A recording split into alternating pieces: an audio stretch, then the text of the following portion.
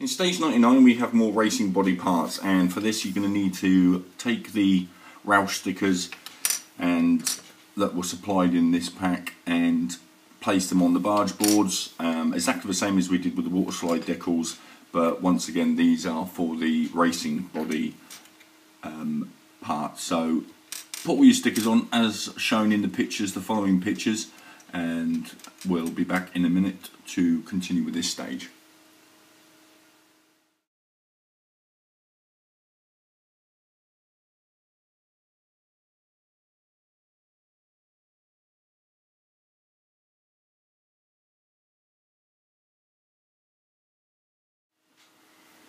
Next you're going to be wanting to put the racing air ducts on the front. So just look at the instructions and apply one of the screws into the sides.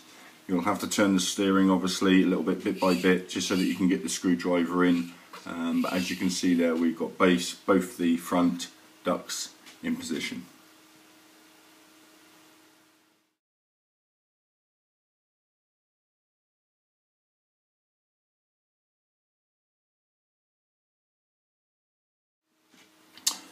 Next you've also got some aerodynamic wings and these need to basically go underneath so we need to remove the rear wing and then place these into position. When you remove the rear wing you'll notice there's a tiny little bump. If you look closely at the pictures that are about to follow you'll notice that these will go in there and then screw those into position.